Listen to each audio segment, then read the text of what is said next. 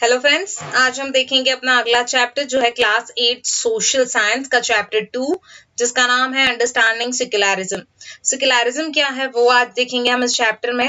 Imagine कीजिए कि आप हिंदू या मुस्लिम हैं, जो किसी यूनाइटेड स्टेट ऑफ़ अमेरिका के मतलब part of united state of America में रहते हैं, जहाँ पर क्रिश्चियन फंडामेंटलिज्म जो है, वो सबसे ज़्यादा पावरफुल है, या फिर क्रिश्चियन लोगों की पास सबसे ज़्यादा है. सपोज़ आप यूएस सिटीजन होने के बावजूद भी कोई भी जो यूएस के लोग हैं या क्रिश्चियन हैं, वो लोग आपको घर जो है अपना रेंट पे देने के लिए तैयार नहीं है। तो आपको कैसा फील होगा उस वक्त जब आपको कोई भी घर रेंट पे देने के लिए तैयार नहीं होगा even though you are US citizen क्या आपको इससे रिसेंटफुल फील नहीं होगा? क्या डिसाइड करेंगे आप कि क्या आप कंप्लेन करेंगे इस डिस्क्रिमिनेशन के खिलाफ? या वापस इंडिया चले जाएँगे? क्या आपको ये फील एंग्री फील नहीं करवाएगा? तो ये जो है एंगर आपका ये दो फॉर्म्स में हो सकता है। पहला है कि या आप तो या तो माइट आप रिएक्ट करेंगे। ये कहकर कि क्रिश्चियंस जो हैं, उन्हें सेम ट्रीटमेंट मिलना चाहिए। जो जब भी वो हिंदू या मुस्लिम जहाँ पर मेजोरिटी में वहाँ पर अगर वो आते हैं तो उन्हें सेम ट्रीटमेंट मिलना चाहिए जो वो हमारे साथ कर रहे हैं। ये फॉर्म ऑफ़ रिटिलाइजेशन है। वाइल अदर uh, जो है वो व्यू आप लेंगे कि जस्टिस मिलना चाहिए सभी को और आप फाइट करेंगे ये कहकर कि कोई भी डिस्क्रिमिनेट नहीं होना चाहिए on grounds of their religious practices और बिलीव्स और ये स्टेटमेंट रेस्ट होता है ऑन द एजम्पन कि ऑल फॉर्म्स ऑफ़ डोमिनेशन जो है वो रिलेटेड है रिलीजन से ये सारे के सारे एंड होने चाहिए. और ये होता है इसेंस ऑफ़ सिक्युलरिज्म क्योंकि अगर आप उनके साथ सेम ट्रीटमेंट करने की बात कहते हैं तो इसमें सिक्योरिटी नहीं आ रही है मतलब सिक्योर नहीं हो रहे हो आप. लेकिन यहाँ पर अगर आप सभी के लिए जस्टिस की बात करोगे तो आगे जाके जैसा आपके साथ हुआ है, शायद वैसा किसी और के साथ नहीं होगा। तो इस चैप्टर में हम देखेंगे, इसके बारे में और ज़्यादा इंडियन कॉन्टेक्स का जो मीनिंग है, वो हम देखेंगे इस चैप्टर में अंडरस्टैंडिंग सिक्युलरिज्म में। हिस्ट्री हमें प्रोवाइड करती है बहुत सारे एग्जाम्पल्स डिस्क्रिमिनेशन के एक्सक्लूजन और प्रोसिक्यूशन के on the grounds of religion आपने सुना होगा about George were prosecuted in Hitler's Germany और किस तरह से सेवरल मीनियर्स जो थे वो खील्ड हो चुके थे इस जो ये था मतलब हिटलर के समय की जो बात थी उस समय में. नाउ हाउ एवर स्टेट जो थे इसराइल के वो ट्रीट करते थे इट्स ओन मुस्लिम और क्रिश्चियन माइनॉरिटीज को बहुत ही बैडली मतलब बहुत ही बुरे तरीके से वो उन्हें ट्रीट करते थे। सऊदी अरेबिया की बात करें तो जो नॉन मुस्लिम्स थे, उन्हें अलाउ नहीं था कि वो बिल्ड कर सके टेंपल या चर्च या ऐसा कुछ। ना तो वो एक साथ मिल सकते थे पब्लिक प्लेसेस पे प्रेयर्स के लिए, ये भी उन्हें अलाउ नहीं था। अब जितने एग्जाम्पल्स हैं मेंबर्स जो हैं वन रिलीजियस कम्युनिटी के आइदर परसिक्यूट करते या डिस्क्रिमिनेट करते थे against members of other religious communities और ये एक्ट जो था डिस्क्रिमिनेशन का, ये टेक्स प्लेस हुआ था मोर इजिली जहाँ पर वन रिलीजन जो है, उन्हें ऑफिशियल रिकोगशन दिया जाता था by state at an expense of another religion clearly कोई भी मतलब no one would wish to be discriminated against क्योंकि उनके रिलीजन जो थे, ना डोमिनेट थे बाय अनदर रिलीजन्स इंडिया में इंडिया जो है एक स्टेट डिस्क्रिमिनेट होता है है against the citizen on the ground of the religion अब हम देखेंगे सिक्युलरिज्म की बात की व्हाट इज़ सिक्युलरिज्म तो प्रीवियस चैप्टर में आपने पढ़ा था कि इंडियन कॉन्स्टिट्यूशन क्या है, जिसके अंदर फंडामेंटल राइट्स लिखे हुए हैं, जो प्रोटेक्ट करते हैं हमें against state power as well as against the tyranny of majority majority वाले लोग जो भी गलत कर रहे हैं, उससे बचने के लिए भी हमें हमारे इंडियन कॉन्स्टिट्यूशन में बहुत सारे राइट्स दिए गए हैं। इंडियन कॉन्स्टिट्यूशन अलाउ करता है इंडिविजुअल को कि वो फ्रीडमली लाइफ जी सके, अपनी उसके रिलीजियस बिलीफ को जी सके प्रैक्टिस जो वो अप्लाई करना चाहता है जो प्रैक्टिस करना चाहता है वो कर सकता है। In keeping with this idea of religion freedom for all India adopt किया गया था इंडिया ने strategy of separating the power of religion और power of state secularism refer करता है separation of religion from the state state से किस तरह से रिलीजन को सेपरेट किया है, वो बताया गया है। आप देख सकते हैं इस पिक्चर में हिंदू, मुस्लिम, सिख, ईसाई के चार मंदिर बने गए हैं, बनाए गए हैं। थ्री ड्राइंग्स यहाँ पे इस चैप्टर में जो है, वो स्टूडेंट्स के थ्रू बनाई गई हैं। आप ही के एज के स्टूडेंट्स के through why it is important to separate religion from the state क्यों ये इंपॉर्टेंट है कि हम सेपरेट करते हैं रिलीजन को अपने स्टेट से? जैसे हमने डिस्कस किया था पहले कि मोस्ट इंपॉर्टेंट एस्पेक्ट जो है सेक्युलरिज्म का, वो है उसका separation of religion from state power और ये इंपॉर्टेंट है किसी भी कंट्री के लिए ताकि वो फ़ंक्शन कर सके डेमोक्रेटिकली ऑलमोस्ट सारी कंट्रीज़ जो है वर्ल्ड की, उनके पास more than one religious group है जो एक साथ रह रहा है उस कंट्री में. With in this religious group most uh, likely जो है वन ग्रुप uh, वो होता है एज अ मेजोरिटी और अगर ये मेजोरिटी रिलीजियस ग्रुप जो है एक्सेस करेगा स्टेट पावर को तो ये क्वाइट इजीली यूज़ कर सकेगा पावर को और फाइनेंशियल रिसोर्सेज को और वो डिस्क्रिमिनेट करेगा। अदर जो ग्रुप्स uh, uh, हैं उन्हें अगेंस्ट और प्रोसिक्यूट करेगा पर्सन को जो अदर रिलीजन्स के हैं उन्हें। तो ये टेरनी जो है मेजोरिटी की ये रिज़ल्ट करती है डिस्क्रिमिनेशन का कोर्जन का। और उस समय में इवन खील भी करती है रिलीजियस माइनॉरिटीज को। मेजोरिटी जो है क्वाइट इजीली प्रिवेंट कर देती है माइनॉरिटीज को। हर जगह से माइनर जो लोग होते हैं माइनॉरिटीज में जो आते हैं लोग, वो लोग रहते हैं, उनके सारे के सारे जितने फैसिलिटीज़ और बाकी चीज़ें हैं, वो सारी चीज़ें उनसे छीन ली जाती हैं। उन्हें कोई भी चीज़ प्रैक्टिस करने की परमिशन नहीं होती। Any from the domination based on religion ये वॉलेशन हो जाता है उनके राइट्स का दैट डेमोक्रेटिक सोसाइटी गारंटी करती है जो ईच एंड एवरी सिटीजन को रिस्पेक्टिव ऑफ़ देयर रिलीजन मतलब रिलीजन को बेस पे रख के ध्यान में रख के भी जो हमारी डेमोक्रेटिक सोसाइटी ने हर ईच एंड एवरी सिटीजन को जो राइट दिए हैं वो चीज़ भी वहाँ पर अप्लाई नहीं हो पाती। और इसीलिए टेरनी है जो है मेजोरिटी की और वॉलेशन जो है फंडामेंटल uh, राइट्स का इसके कारण ही रिज़ल्ट होता है कि uh, क्यों इंपॉर्टेंट है सेपरेट करना स्टेट को और रिलीजन को डेमोक्रेटिक सोसाइटी से। अनदर रीजन जो है, जो इम्पोर्टेंट है सेपरेट करने के लिए रिलीजन को स्टेट से डेमोक्रेटिक सोसाइटी में, वो ये है बिकॉज़ हमें ज़रूरत है प्रोटेक्ट करने की फ्रीडम ऑफ़ इंडिविजुअल की जो एग्जिस्ट होता है रिलीजन के अंदर। एम्बेरस करता है अदर रिलीजन को और फ्रीडम जो है हमें नहीं मिल पाता है इंटरप्रीट करता है रिलीजियस टीचिंग को डिफरेंटली अंडरस्टैंड करने के लिए इस पॉइंट को बेटरली हम एक प्रैक्टिस ऑफ़ अनटचेबिलिटी की बात यहाँ पर लेते हैं। आपने फील किया होगा कि आप डिसलाइक जो है feel that you dislike this practice with in Hinduism Hinduism में ये चीज़ हमें बिल्कुल पसंद नहीं आती और इसीलिए आप ट्राई करते हैं और रिफॉर्म करते हैं इसे। हावेवर अगर स्टेट पावर जो है, वो अगर हैंड्स ऑफ़ हिंदूज में होगी, अगर हाथ हिंदू के हाथों में होगी, जो सपोर्ट करते हैं अनटचेबिलिटी को तो आपको क्या लगता है कि ये जो है इजी टास्क होगा कि हम इस चीज़ को चेंज कर सके। इवन अगर part of dominant religious group जो है, आप फेस कर रहे हैं, अगर लॉट ऑफ़ रेजिस्टेंस आपको फेस करना पड़ रहा है आपके फेलो मेंबर्स के साथ कम्युनिटी के तो आपको कैसा लगेगा? ये मेंबर्स जो कंट्रोल करते हैं स्टेट पावर को माइट ये कह सकते हैं कि ओनली वन इंटरप्रिटेशन वो बना सकते हैं हिंदुइज्म से, और आपको कोई फ्रीडम नहीं है कि आप इंटरप्रीट करें डिफरेंटली आपको हिंदू जो कह रहे हैं, उसी चीज़ को मानना है, ये चीज़ अगर आपको कही जाए तो आपको कैसा लगेगा? ये डायग्राम जो है यहाँ पर प्रॉपरली आ नहीं पाई है फ्रेंड्स इसे आपको अपनी बुक में देखना होगा। आगे हमारा टॉपिक है what is Indian secularism Indian secularism में क्या आएगा? इंडियन कॉन्स्टिट्यूशन मैंडेट करता है कि इंडियन स्टेट जो है वो सिक्युलर है। और according to constitution only secular state जो है वो रियलाइज़ करता है उसके ऑब्जेक्टिव को, जो इंश्योर करते हैं नीचे की दी गई चीज़ों को। पहला ये कि दैट वन रिलीजियस कम्युनिटी जो है वो डोमिनेट नहीं करेगी अदर को। कुछ मेंबर्स जो हैं वो डोमिनेट नहीं करेंगे other members of same religious community को। और स्टेट जो है वो एनफोर्स नहीं करेगी किसी भी पर्टिकुलर रिलीजन को। ना तो वो किसी भी रिलीजियस के फ्रीडम रिलीजियस फ्रीडम जो है इंडिविजुअल का वो भी उससे लेगी।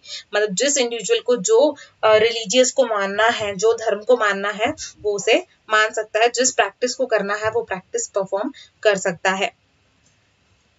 इंडियन स्टेट वर्क करती है वेरियस वेज में ताकि वो प्रिवेंट कर सके अबो ऑफ़ डोमिनेशन जो दिए हैं उनको।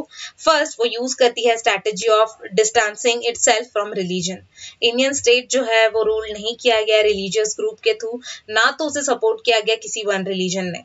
इंडियन गवर्नमेंट स्पेस करती है like law courts police station government schools और ऑफ़िस और ये नॉट सपोज़ टू डिस्प्ले और प्रमोट एनी वन रिलीजन आप कहीं पे जाएँगे तो इंडिया में आपको ये चीज़ नहीं मिलेगी कि कहीं पे भी एक ही रिलीजन को एंटरटेन किया जा रहा है। एक स्टोरी फ्रेंड्स हमें यहाँ पर दी गई है, जिसमें गवर्नमेंट स्कूल सीमापुर की स्टूडेंट जो है वो सेलिब्रेट करना चाहते हैं एक रिलीजियस फेस्टिवल को, जो नेक्स्ट मंथ आने वाला है। ये गवर्नमेंट हाई स्कूल है, जहाँ पर बच्चे बात करते करते आ रहे हैं, अपने सर से कह रहे हैं कि, sir there is a big religious festival next month अगले मंथ में बहुत बड़ा सा रिलीजियस फेस्टिवल आ रहा है, और हमने कभी उसे सेलिब्रेट नहीं किया स्कूल में. तो क्या हम इस साल उसे स्कूल में सेलिब्रेट कर सकते हैं? ये सवाल पूछा है सर से। अब यहाँ पर एक और जो फ्रेंड है वो कह रहा है सॉरी uh, यहाँ पर सर ही है जो कह रहे हैं कि I am afraid that it's possible Rekha. Rekha मुझे ऐसा लगता है कि ये पॉसिबल नहीं होगा। ये गवर्नमेंट स्कूल है और हम इम्पोर्टेंस नहीं देते किसी एक रिलीजन को। प्राइवेट स्कूल्स जो हैं, वो सारी चीज़ें ये करती हैं। प्राइवेट स्कूल्स में जो भी उनके रिलीजियस फेस्टिवल्स हैं, वो सेलिब्रेट करते हैं। लेकिन गवर्नमेंट स्कूल में ये चीज़ नहीं होती। आप अगर किसी एक फेस्टिवल को सेलिब्रेट करेंगे तो वो हो जाएगा पर्टिकुलरली वन रिलीजन को आप मान रहे हैं इस तरह से। तो गवर्नमेंट जो है, वो सेलिब्रेट नहीं करती किसी भी रिलीजियस फेस्टिवल को स्कूल प्रमाइसिस में। मोस्ट रिलीजियस फेस्टिवल्स जो हैं, वो पब्लिक हॉलीडेज पे होते हैं तो हम उसे अपने घर पर ही सेलिब्रेट करते हैं। अब वो जो रेखा है, उसका फ्रेंड उससे कह रहा है कि मुझे ऐसा नहीं लगता कि इस तरह से होगा। I guess we can always celebrate it outside school मुझे ऐसा लगता है कि हमें हमेशा उसके स्कूल के बाहर ही सेलिब्रेट करना चाहिए। अब यहाँ पर रेखा कह रही है कि anyways we were planning to celebrate it in our locality हम अपने लोकेलिटी में ही से सेलिब्रेट करेंगे।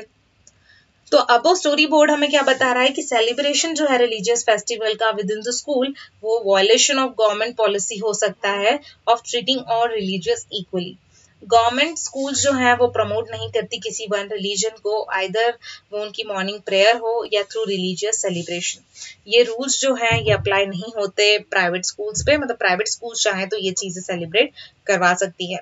सेकेंड वे जो है, जिसमें इंडियन सिक्युलरिज्म वर्क करता है, वो प्रिवेंट करता है अबो डोमिनेशन को, ये through the strategy of non interference इसका मतलब ये है कि in order to respect the sentiments of all religion ना कि इंटरफेयर करना विथ रिलीजियस प्रैक्टिस स्टेट जो है, वो सर्टन एक्सपेक्शंस बनाता है पर्टिकुलर रिलीजियस कम्युनिटीज के लिए. एक और स्टोरी हमें याद दी है कि ग्रुप ऑफ़ फ्रेंड्स जो हैं, जो रिसेंटली बॉट उन्होंने स्कूटर लिया है और मीट कर रहे हैं एक दूसरे से और साथ में राइड करते जा रहे हैं स्कूटर चलाते हुए। अब पहला फ्रेंड बोल रहा है, हे, मुझे लगता है कि तुम्हारे पास हेलमेट होना चाहिए। तुम जानते हो ना कि लॉ क्या है दिल्ली में, जो रिक्वायर करता है कि आपको हेलमेट पहनना ही है। We are and you wearing helmet वो कह रहा है कि अगर तुम नहीं पहनोगे, तुमने नहीं पहना है हेलमेट तो you want to be fine तुम चाहते हो कि तुम्हें फाइन लगे। तो दूसरा जो फ्रेंड है, वो है पंजाबी। तो वो कह रहा है कि don't worry I will not be fine मुझे फाइन नहीं लगेगा। तो वहाँ पर जो पहला फ्रेंड है, वो कह रहा है कि, ऐसा क्यों कह रहे हो कि तुम्हें फाइन नहीं लगेगा? तो यहाँ पर जो पंजाबी फ्रेंड है, वो कह रहा है कि सिख या पंजाबी लोगों के लिए पगड़ी पहनना बहुत ही इंपॉर्टेंट पार्ट है हमारी रिलीजन का। और पगड़ी पहन के वो हेलमेट पहनना उनके लिए पॉसिबल नहीं है।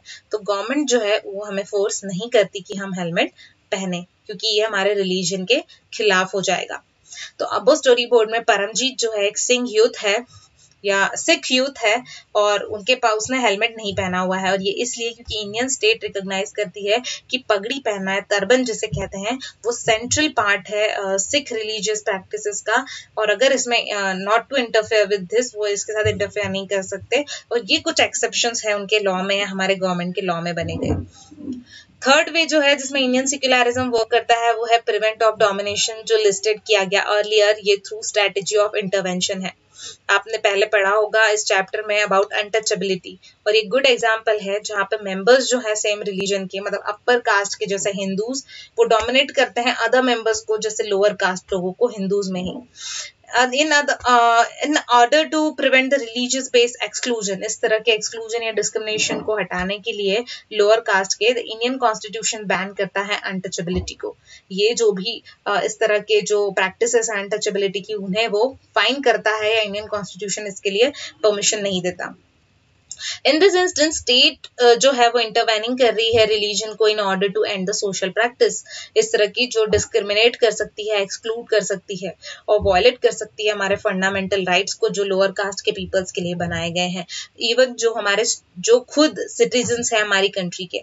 सिमिलरली एंश्योर करने के लिए कि लॉज जो हैं जो रिलेट करते हैं इक्वल टू इनहेरिटेंस राइट्स वो रिस्पेक्टेड हैं और स्टेट जो है उन्हें इंटरवेन करना चाहिए in the religious based personal laws of communities intervention जो है स्टेट का, ये भी in the form of support होता है।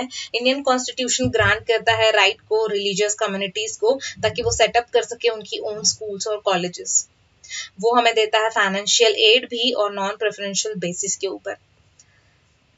किस वे में इंडियन सेक्युलरिज्म डिफरेंट है अदर दैन डेमोक्रेटिक कंट्रीज़ तो कुछ अब जो ऑब्जेक्टिव्स हैं बिल्कुल सिमिलर है to those that have been included in constitution जो हमारे सेक्युलर डेमोक्रेटिक कंट्रीज़ के लिए बनाया गया है और in other parts of the world for example first amendment जो था यूएस कॉन्स्टिट्यूशन का, वो प्रोहिबिट करता है कि लेजिस्लेचर जो है, उन्हें प्रोहिबिट करता है लेजिस्लेचर को कि वो लॉज बनाए respecting an establishment of religion और वो प्रोहिबिट करता है फ्री एक्सरसाइज ऑफ़ रिलीजन को भी.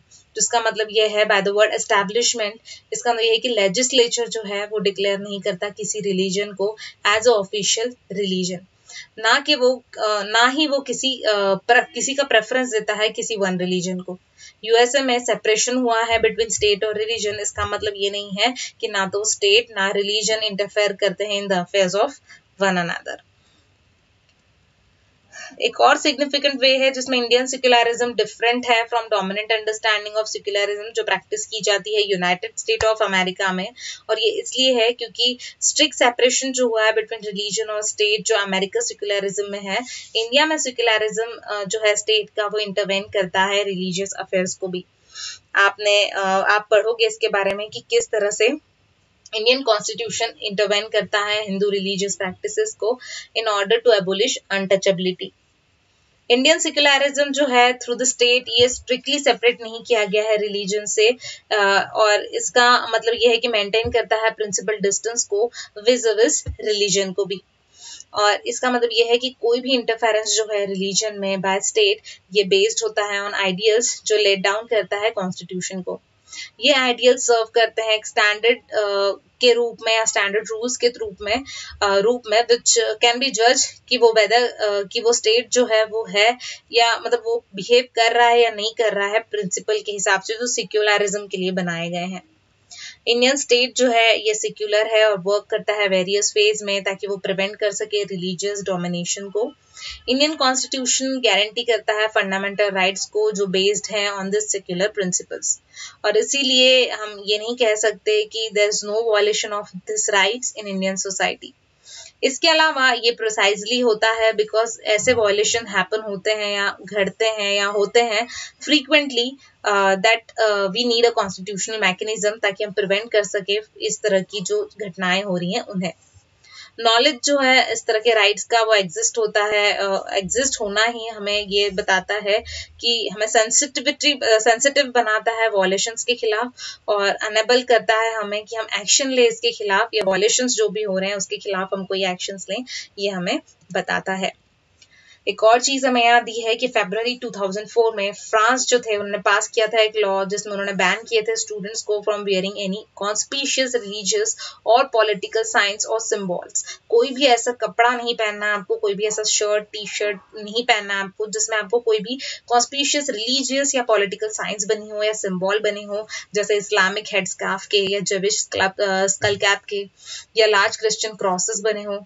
ये लॉ जो था, उसे एनकाउंटर किया गया था lot of resistance from immigrants के थ्रू जो mainly from former French colonies थे अल्गेरिया के तुनिसिया के और मोरक्को के।